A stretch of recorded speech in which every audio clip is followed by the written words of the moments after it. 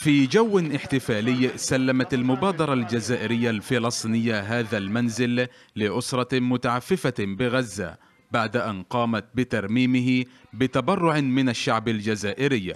أفراد الأسرة تسلموا المنزل بشكله الجديد حيث كان غير ملائم للسكن. كل الشكر للشعب الجزائري اللي ساهم في بناء بيتي. بيتي يمكن شفتوه قبل كيف كانت صورته. يعني كان رمل ما كانش فيه سقف ما كانش فيه شبابيك.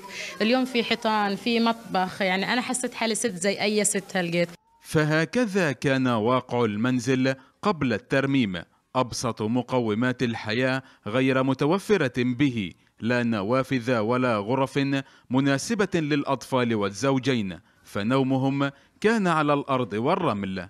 كل ذلك تغير بعدما ناشدوا الشعب الجزائري الذي وفر لهم السكن والحياة الكريمة. إحنا بدنا نشكر الشعب الجزائري على ترميم هذا البيت لأنهم بلغناهم وتوجهنا لهم في أسرع وقت استجابوا إلينا وكان بيتنا لا يصلح للسكن.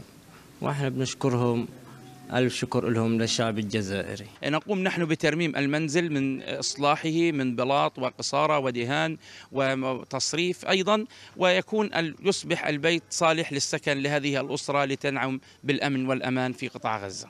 ترميم بيت هو بداية انطلاق مشروع بدأته المبادرة الجزائرية لترميم البيوت الغير صالحة للعيش ما يعكس حرص الجزائر على الارتقاء بالمستوى المعيشي للأسر المتعففة بغزة.